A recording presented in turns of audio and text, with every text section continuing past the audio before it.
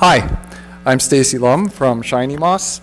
We make a slightly scary uh, action adventure game called uh, The Afterwoods.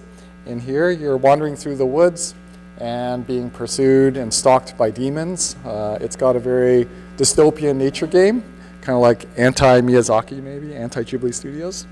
Um, so in the game, uh, you know, there's, uh, we have a novel locomotion system so that it doesn't require teleporting, but you can still move around miles and miles of space.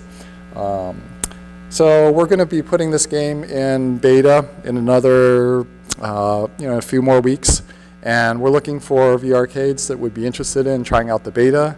And uh, if you are, please contact me.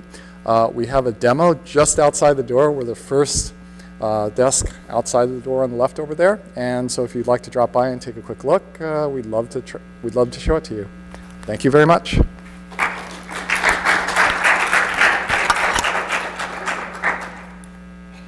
I didn't even show around, oh. I left out all those stuff. All right. Um, so